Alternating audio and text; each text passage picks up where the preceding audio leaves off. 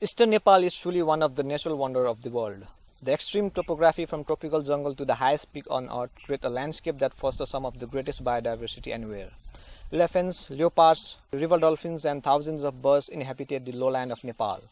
The mid-elevation features endangered pangolin, red panda and 28 varieties of flowering rhododendron. In the north we find the top of the world, Mount Everest, Makalu and Kanchenjunga, which sustain blue sheep, goral and the ultimate high altitude predator, snow leopard. This magnificent landscape hold a parallel diversity of human settlement from fisher folks of Koshi Tappu through the farmers of Yangshila to the yak herders of the remote highlands. All of these resources, natural and human, are facing an unprecedented array of challenges from road building to land grabbing, invasive species, deforestation and climate change.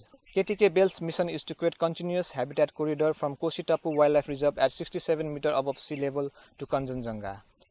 The variety of cultures and landscape requires a place-specific approach. To that end, the KTK Bell is building a series of biodiversity education centers called Learning Ground that add up to the Vertical University. The Vertical University is the composite of over 50 learning grounds across different ecological regions. Each learning ground will serve as a living laboratory to teach sustainable livelihood and preserve indigenous knowledge. Ordinary farmers, herders and fisher folks says skill acquired over generations through deep contact with nature. We also teach innovative building and farming techniques and provide access to post-carbon energy sources. We combine the best of old and new to help building a conservation compatible way of life for 21st century. Ascending the mountains to the alpine region is one of the most ambitious plans for Himalayan conservation.